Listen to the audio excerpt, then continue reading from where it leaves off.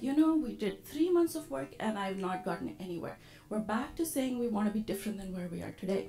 But we found a very uh, reasonable way with EyeSee to really explore our multiple options and figure out where to go.